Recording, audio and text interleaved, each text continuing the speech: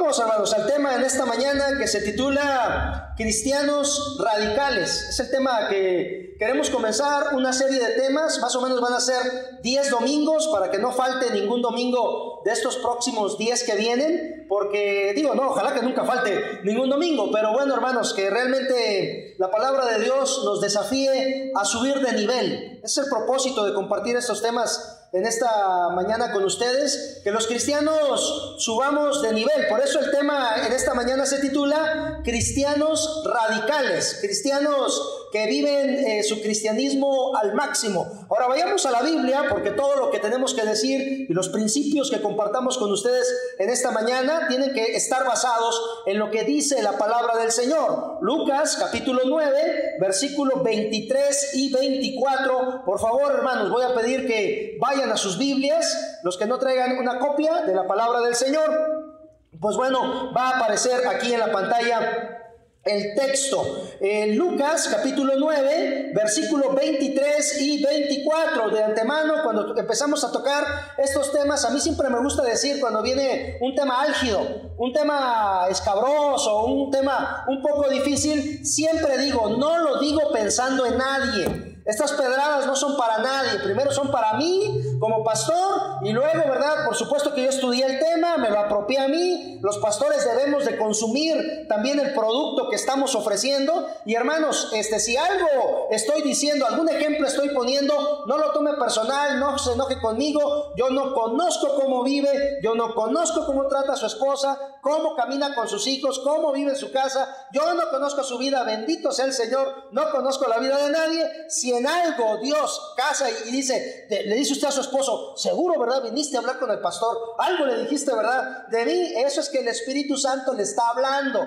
No le eche la culpa a su esposa, a su esposo, no le eche la culpa a nadie. Vamos a ver, Lucas capítulo 9, versículo 23 y 24, hermanos, ayúdenme a leerlo. Por favor, hermanos, ¿qué dice? Si alguno quiere venir en pos de mí, niéguese a sí mismo, tome su cruz cada día y sígame, ¿qué dice la Biblia? Porque todo el que quiera salvar su vida, la perderá. Y todo el que pierda su vida por causa de mí, este la salvará. Cristianismo radical. Hermanos, toma tu cruz cada día. ¿Qué significa para un cristiano tomar la cruz?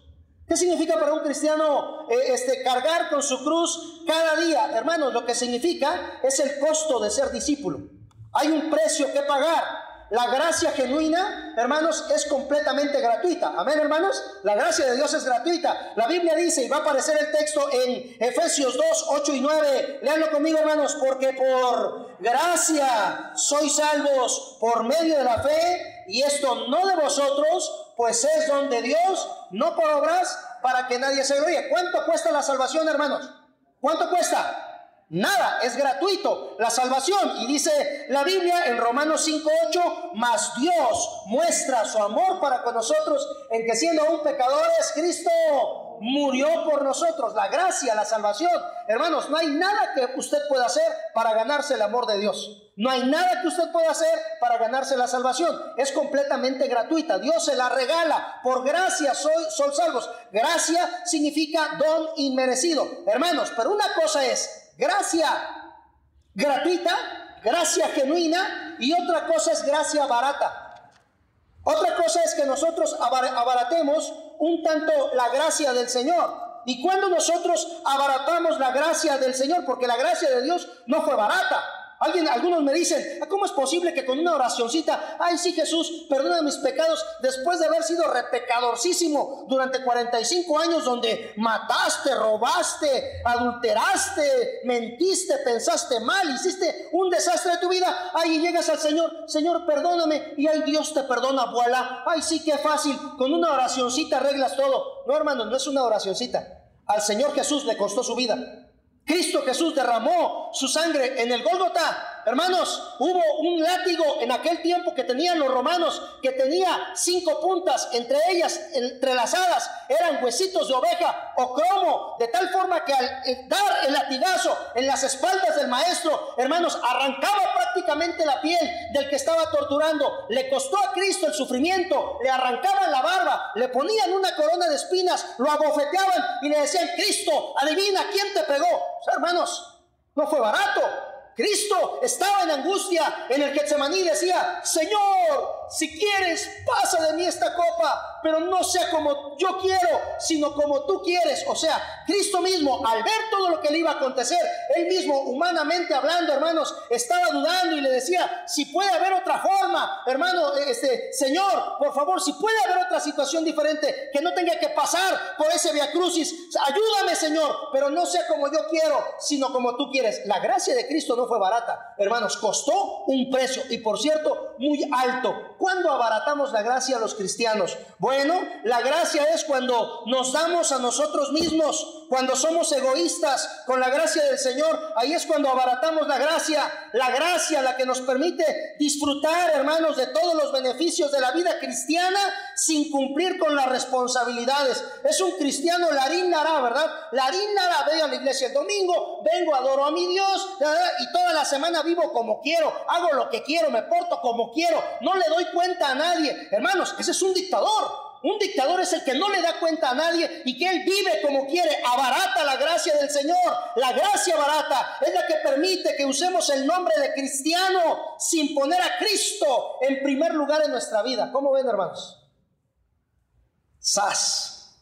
Hay una profecía en el libro de Isaías que dice, Señor, se juntarán un grupo de mujeres en aquel tiempo y dirán, déjanos llevar tu apellido, pero nosotras comeremos nuestro pan y nosotras vestiremos nuestras ropas. Así dice la Biblia en Isaías. Y entonces se refiere a que un cristiano en nuestros días dice, déjame llevar el título de cristiano y sale cada domingo eh, con su Biblia, ¿verdad? Ay, muy contento a adorar al Señor, ¿verdad? El domingo, pero nada más el domingo y entre semana hace lo que quiere y entre semana no, no, no, no pone a Cristo en primer lugar en su vida. La gracia barata es la que permite que seamos religiosos cumpliendo ciertos deberes sin consultar cuál es la voluntad de Dios para nuestra vida diaria. ¿Cuál es la voluntad del Señor para nosotros como cristianos? El precio de ser discípulo, hermanos, escuchen, hermanos, llevar la cruz de Cristo significa sométete a Cristo como tu Señor y ponlo a Él en primer lugar en tu vida. Verdaderamente Cristo es el primer lugar de nuestras vidas. A ver, hermanos, vamos a hacer un examen en esta mañana. ¿Cuántos sí quieren poner a Dios en primer lugar en su vida? Levanten la mano.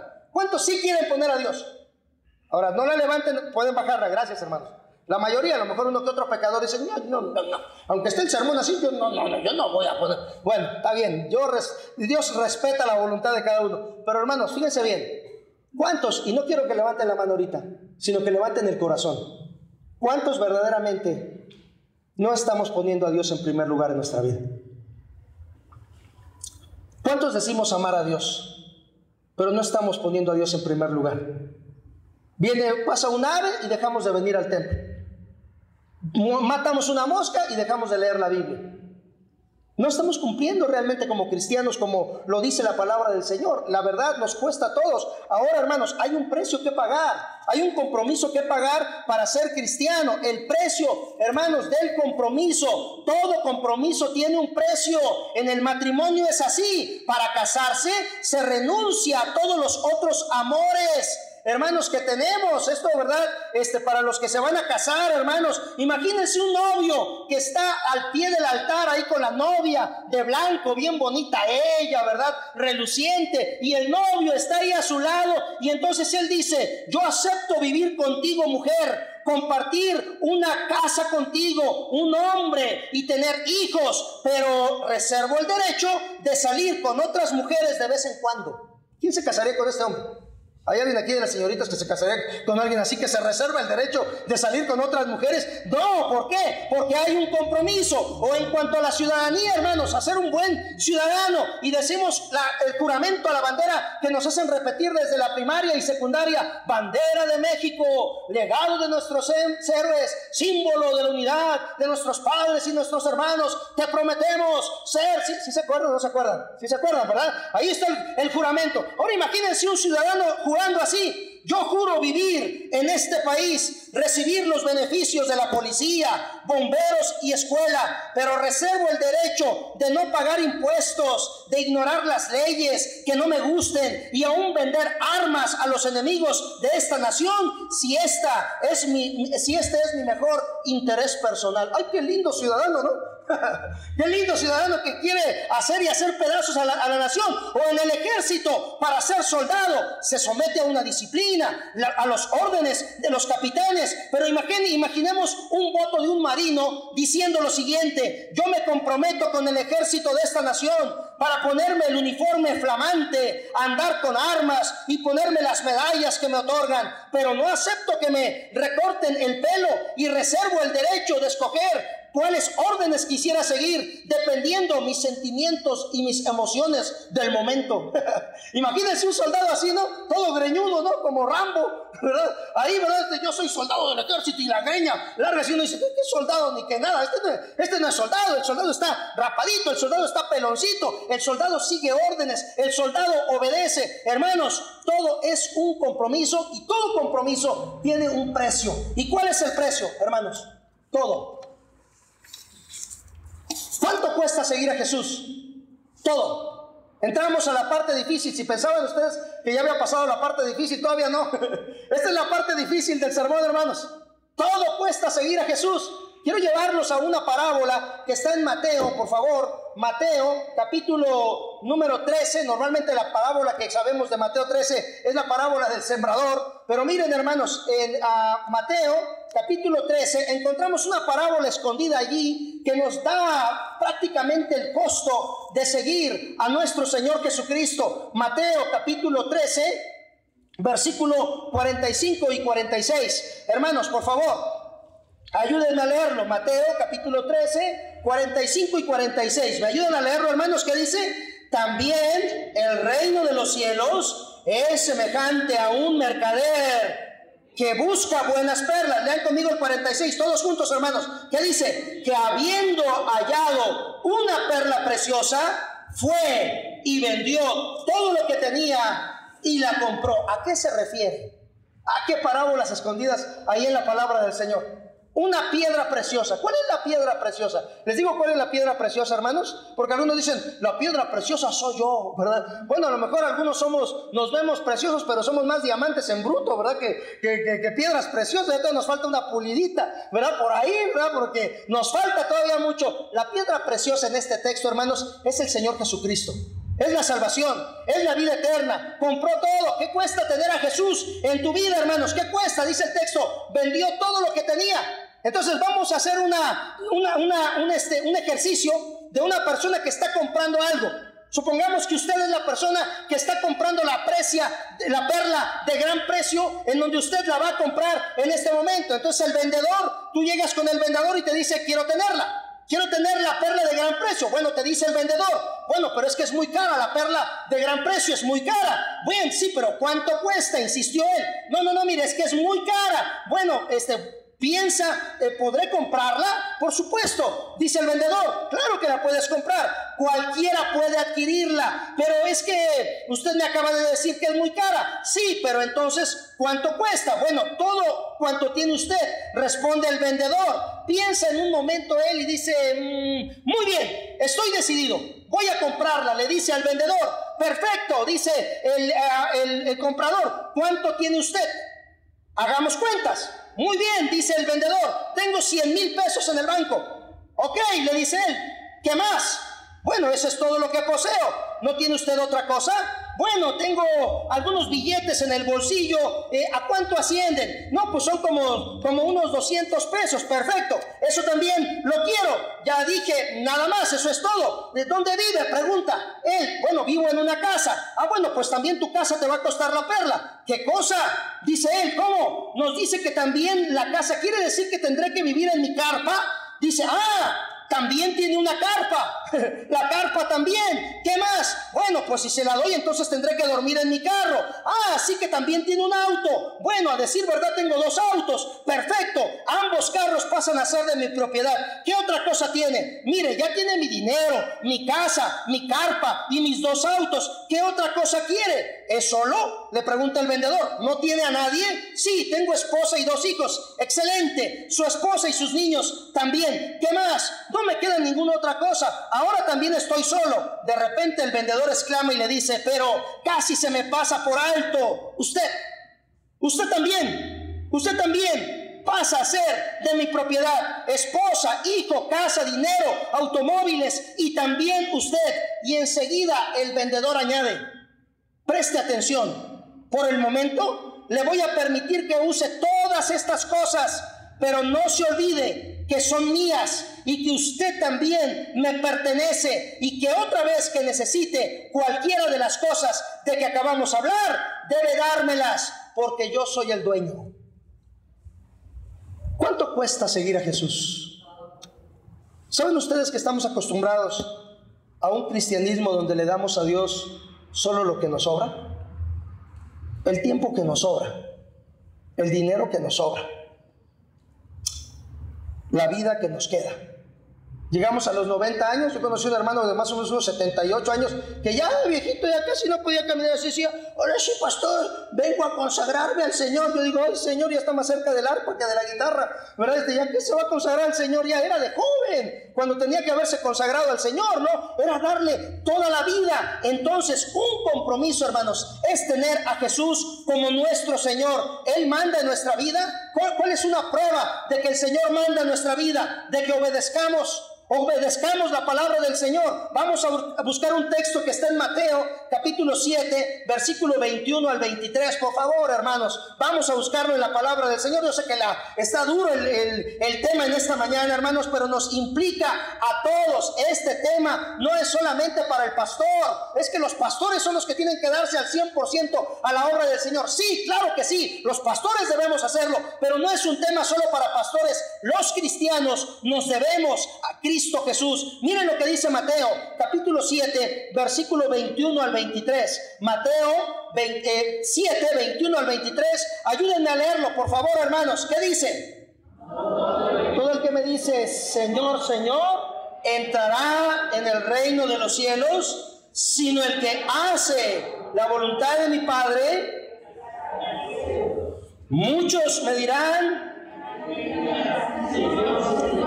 no profetizamos en tu nombre y en tu nombre echamos fuera demonios y en tu nombre hicimos muchos milagros y entonces les declararé, nunca os conocí, apartaos de mí, hacedores de maldad. Entonces, ¿qué cuesta seguir a Cristo, hermanos? Todo, todo. Obedecer, escuchen hermanos, no solamente lo que nos conviene o no solamente lo que no nos cuesta, porque estamos en un cristianismo light, estamos en un cristianismo part-time, ¿verdad? Este, en donde somos cristianos de medio tiempo y Dios quiere cristianos full-time, de tiempo completo, un cristiano que en todo momento sea hijo de Dios. Yo sé que la tentación de parte del enemigo es, no, mira, tú puedes ser un cristiano normal.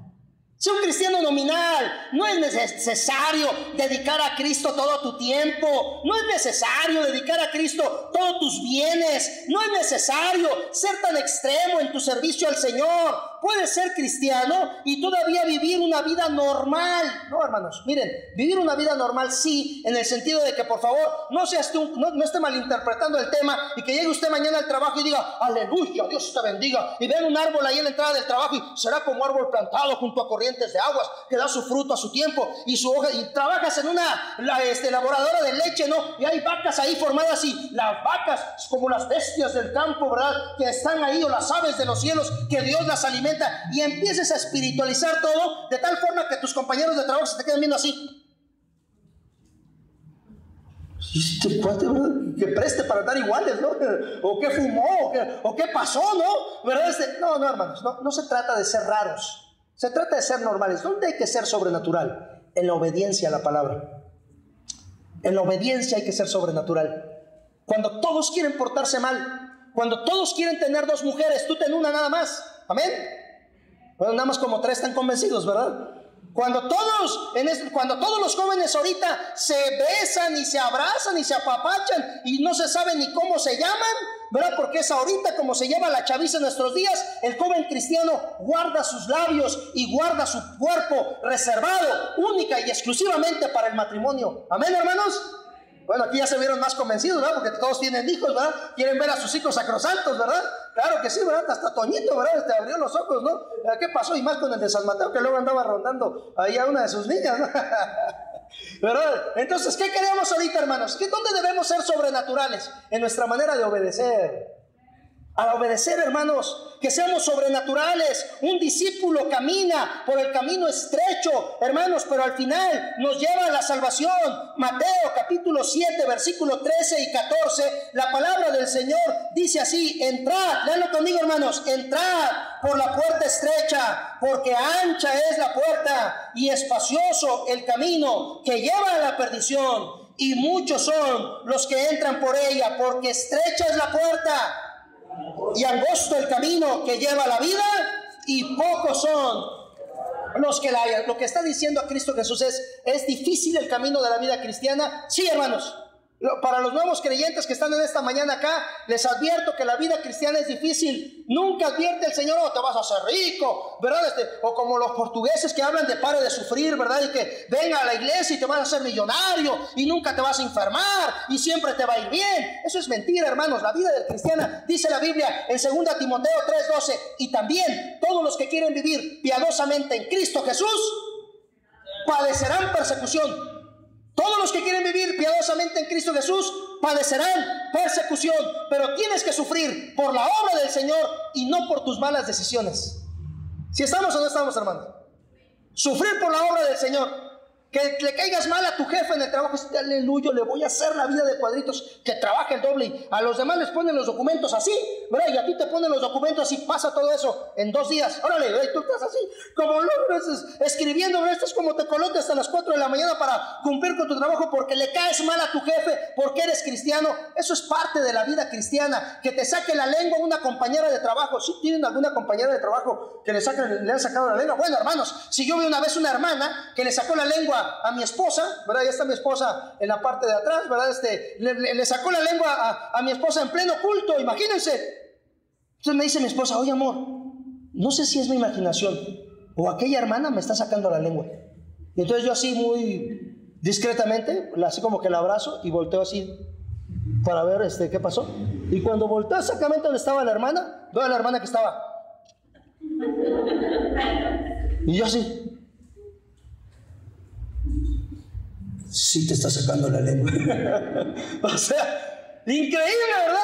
Hay gente que no le, si no le caemos bien entre cristianos, ahora imagínense allá en los mundanos, no les vamos a caer bien. La vida cristiana, ahí es donde se torna difícil. Pero escuchen hermanos, aquí comienzan las buenas noticias. El discipulado radical trae una vida feliz, porque Dios paga bien. Hermanos, Dios paga bien, es un buen pagador. ¿Dónde está esto en la Biblia? Búsquenlo, por favor. Marcos capítulo 10, versículo 28 al 30. Y hermanos, ya aquí ya los dejo descansar tantito y comienza la parte suavecita, ¿verdad? Este, así va a estar intensiva estos próximos 10 domingos, eh, llevándonos, hermanos, a subir de nivel en la vida espiritual hacia un cristianismo, hacia un discipulado radical en la vida cristiana. Dice Marcos capítulo 10, versículo 28 al 30.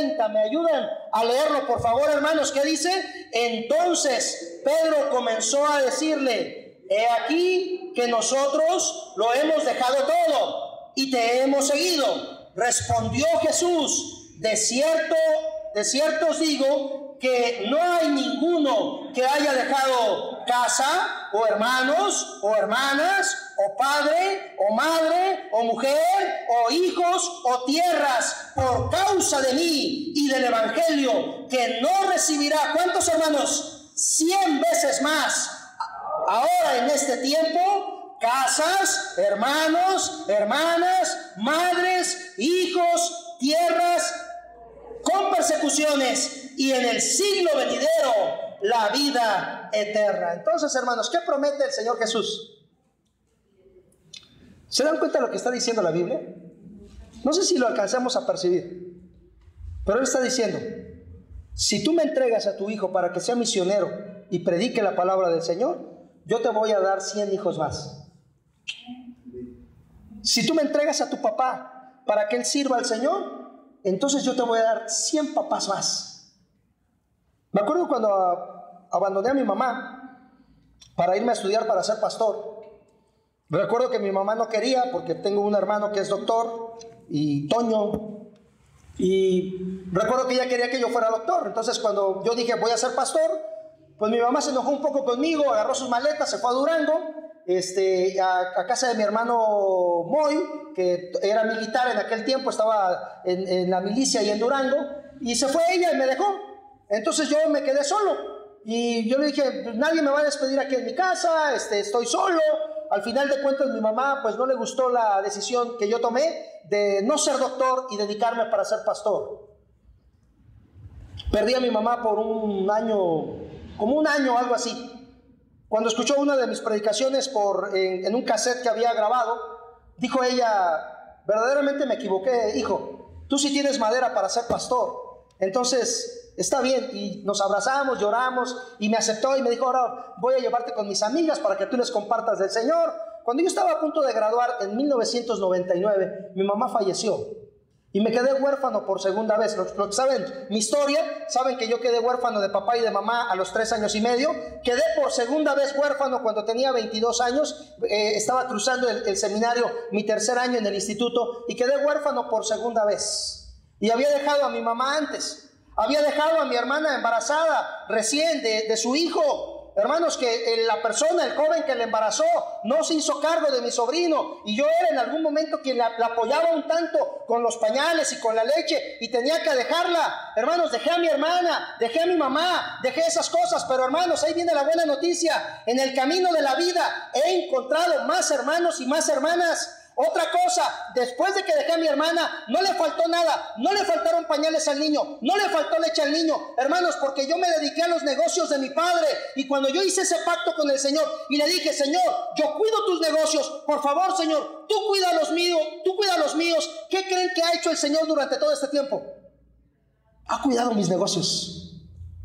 Y me ha dado, hermanas, no solamente ha sustentado a mi familia, mi hermana ya no es un secreto, ¿verdad? Ahorita la veo, ¿verdad? Este, anda en su carro nuevo, tiene no sé cuántas consultas, es, psicóloga, tiene una maestría no sé qué, este, ah, en terapia familiar, algo así, y este, ella este, le va bien económicamente, la veo ahorita con el carro, y yo a veces hasta le hago broma, le digo, hermanita, ¿quién te viera que ahorita ya andas con tu auto nuevo, y dueña de dos escuelas, y con tus carreras, y tu éxito que estás teniendo? ¿Quién te viera que en Poza Rica comíamos tortilla con chile cuando éramos niños? ¿Verdad? Este, y, nos iba re mal y a veces no teníamos para comer. ¿Y cómo Dios ha sustentado a mi familia? Hermanos, ¿saben por qué Dios ha sustentado a mi hermana? Por, sí, aparte porque ha trabajado duro y se ha esforzado, pero hermanos, porque Dios está cumpliendo un pacto que yo hice con Él hace muchos años. Hermano, cuida tú los negocios de nuestro Padre Celestial y Él cuidará los tuyos. Hay gente que se la pasa cuidando sus negocios nada más y no tiene pacto con Dios. Entonces no está sirviendo al Señor como es no es un discípulo radical. No digas que amas al Señor, si es tu caso en esta mañana. No digas, no te engañes, no digas, oh sí, yo amo al Señor. Oh sí, si lo más importante es tu trabajo, no amas al Señor. No lo digas. Si lo más importante es allá afuera cumplir y no le cumples a Dios, no digas que amas al Señor. Si te cuesta trabajo ir a visitar a un enfermo cuando sabes que debes hacerlo, no digas que amas al Señor. Si te cuesta trabajo venir a la iglesia y ahí vienes empujando, ay, ya ni moda, ahí voy a la iglesia. No digas que amas al Señor, no digas, no te engañes a ti mismo. Si amas al Señor, demuéstralo. ¿Cuánto cuesta servir al Señor, hermanos? Todo, todo. Pero cuando le das al Señor todo, Él te regresa, dice el texto, hasta 100 veces.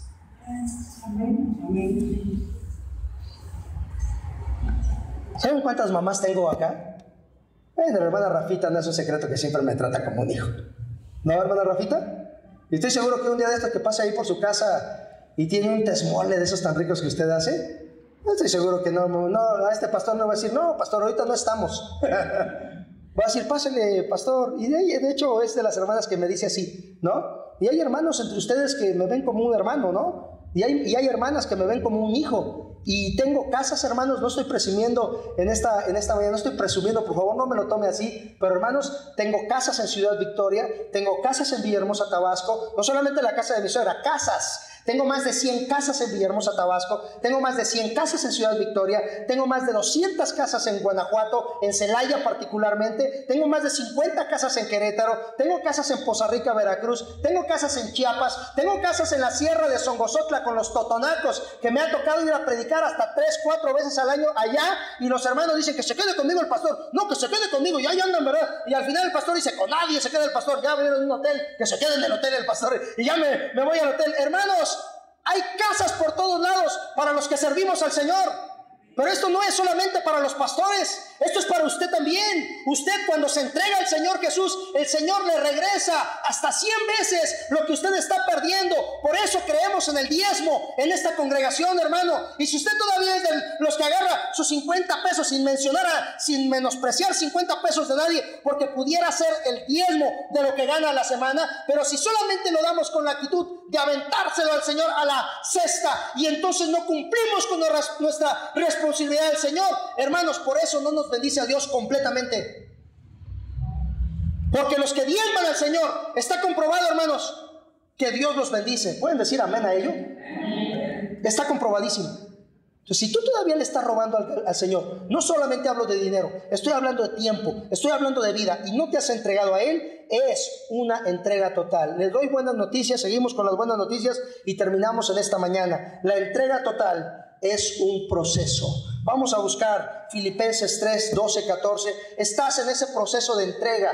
Por eso es que estamos tomando este tipo de predicaciones. Porque yo quiero que ustedes, hermanos, disfruten de las bendiciones del Señor sin que sean amargados. Si tú eres un cristiano, no se trata de ser un cristiano fariseo, amargado, con cara de cebolla, llegando al culto, ¿verdad? No se trata de eso. Se trata de que seas feliz, pero que vivas tu cristianismo al máximo. Miren lo que dice Filipenses capítulo 3, versículo 12 al 14. Léanlo conmigo, hermanos. ¿Qué dice? No que lo haya alcanzado ya, ni que sea perfecto, sino que prosigo por ver si logro asir aquello para lo cual fui llamado también, ha sido por Cristo Jesús. ¿Qué dice? Hermanos, yo mismo no pretendo haberlo ya alcanzado, pero una cosa hago, olvidando ciertamente lo que queda atrás y extendiéndome hacia dónde, hermanos? Hacia lo que está delante, prosigo a la meta, al premio del supremo llamamiento de Dios en Cristo Jesús. Estás en proceso. Miren, yo sé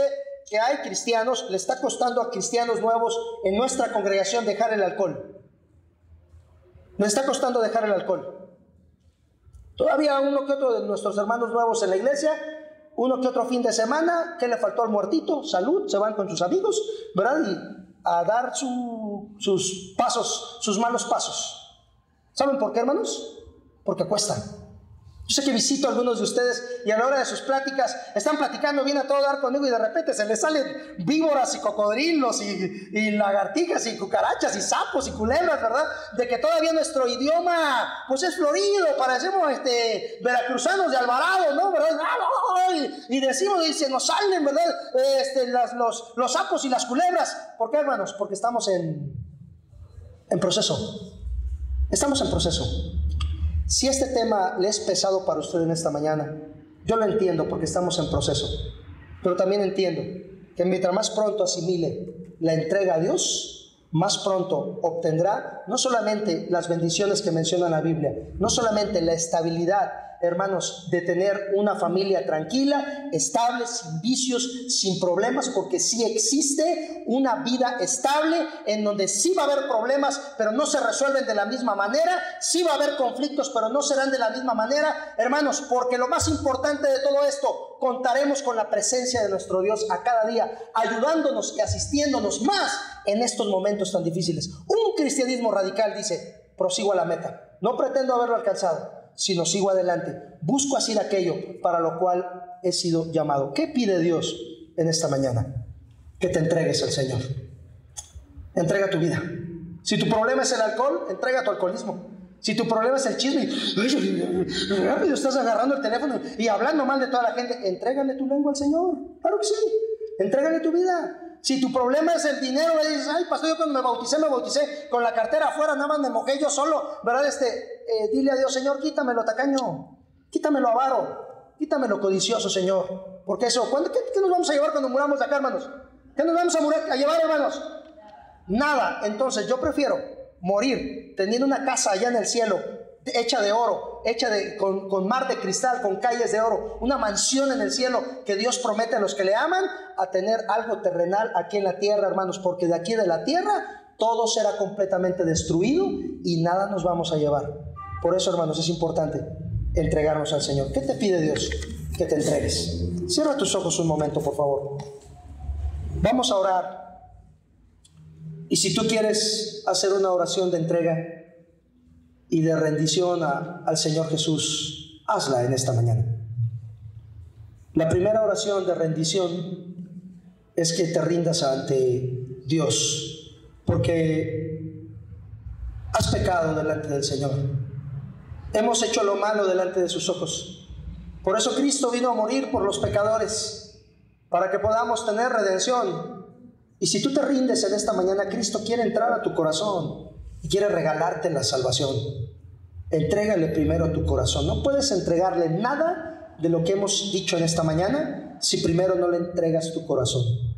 Porque si entregas tu corazón y entregas tu vida, todo lo demás será más fácil y verás la bendición de Dios en tu vida. Pero primero entrega tu corazón a Jesús. Haz esta oración.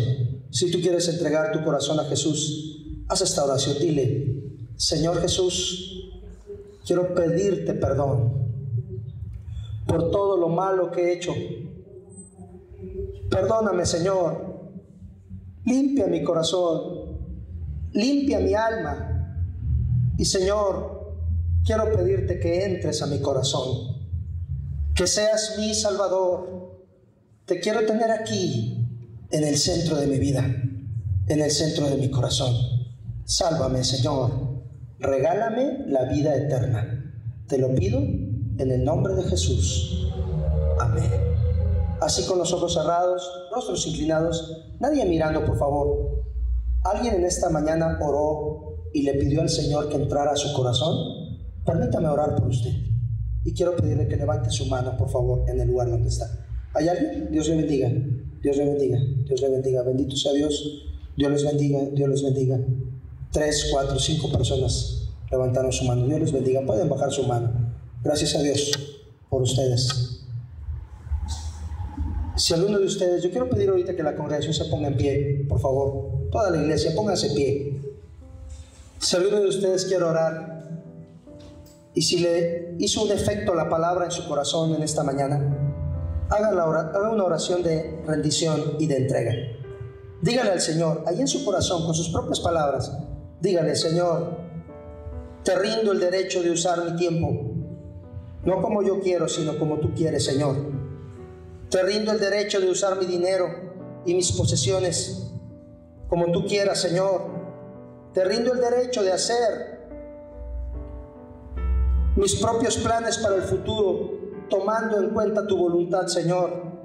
Te rindo el derecho de buscar comodidad y placer en la vida, pero Señor, te rindo ese derecho a ti, Padre, que no sea yo.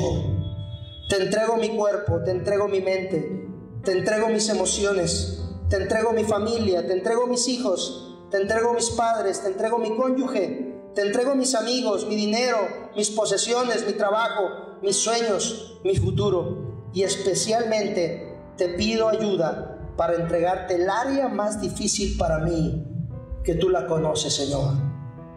Tú eres mi Señor, tú eres mi Salvador. Te entrego mi vida. Gracias, Padre, por mis hermanos en esta mañana. Yo veo los rostros, pero tú sabes cuántos oraron en su corazón. ¿Cuántos oramos? Porque yo también, Señor, me incluyo con ellos para ser discípulos radicales, para ser cristianos radicales, para ser cristianos que vivamos al máximo la vida cristiana. Basta ya de ser cristianos de medio tiempo. Necesitamos ser cristianos completos, sirviéndote a ti, Señor, como te agrada. Nos ponemos en tus manos y te agradecemos en esta mañana tu palabra. En el nombre de Cristo Jesús. Amén. Amén. Pueden tomar sus lugares, hermanos. Muchas gracias.